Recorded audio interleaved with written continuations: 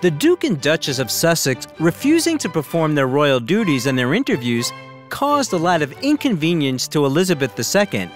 Even if Harry and Meghan's accusations were not directed personally at the Queen, the reputation of the entire monarchy suffered, which is already under attack for huge amounts of spending.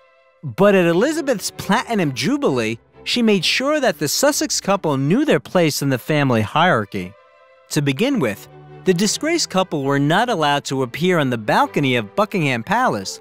The day before, the Queen made changes to the traditions, and now only senior family members performing official duties will accompany her, especially on solemn balcony exits. Therefore, the Sussex couple was seen only in the window of the palace next to their nephews. The next day at the service at St. Paul's Cathedral, Harry and Meghan were seated away from Charles Camilla, William, and Kate. Considering that Harry is sixth in line to the throne, it's pretty humiliating. In general, the Sussex couple were not given the opportunity to communicate with key representatives of the dynasty. Particularly attentive viewers saw signs of strong tension in Meghan's behavior that day, which she hid behind a wide smile.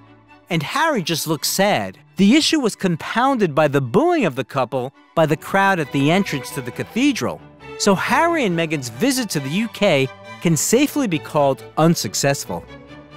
The Sussex couple's plan regarding letting their daughter Lilibet Diana meet the Queen, she is named after her paternal great grandmother and grandmother.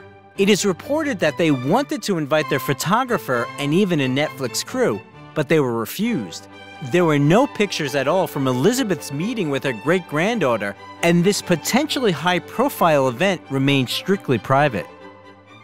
By the time the celebrations ended, the Sussex family had already flown home on a private jet, and Harry was said to be very upset that the visit bore no fruit.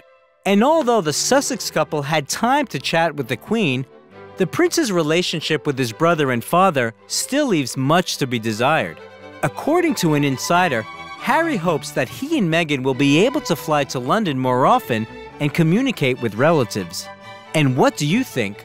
Will the Sussex family be accepted back into the family after all the high profile accusations? If you like the video, leave a like and also subscribe to the channel so that you don't miss anything interesting.